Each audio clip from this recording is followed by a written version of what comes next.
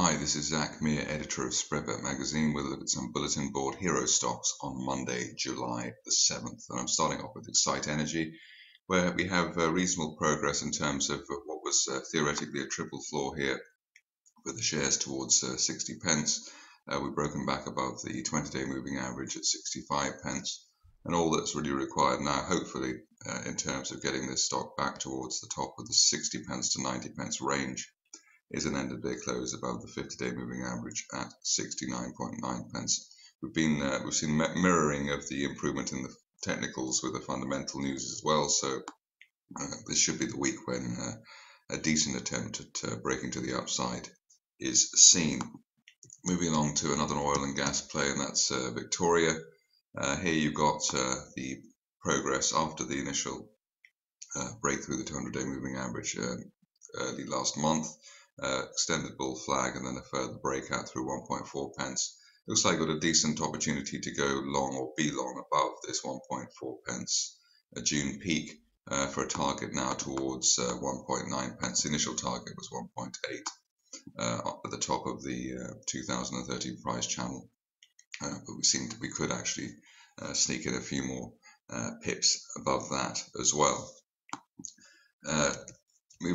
Again to Sirius Minerals, and here you can see that uh, looks as though things are starting to uh, uh, get more exciting in terms of the price action.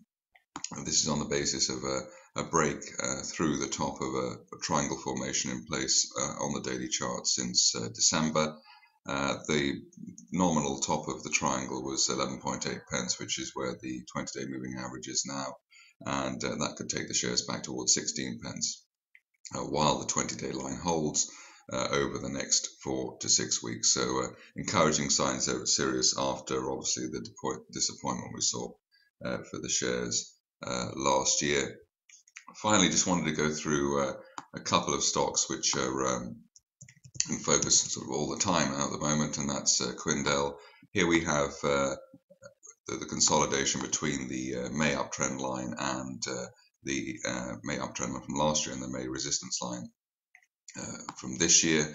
Uh, the 20 day moving average of £2.26 is now the line in the sand in terms of being the buy trigger, and uh, one would be looking for that to be broken on an end of day close basis uh, to get a decent rally out of Quindell uh, for those who believe in the company. otherwise, £2 is the floor which needs to be held from last year's support line.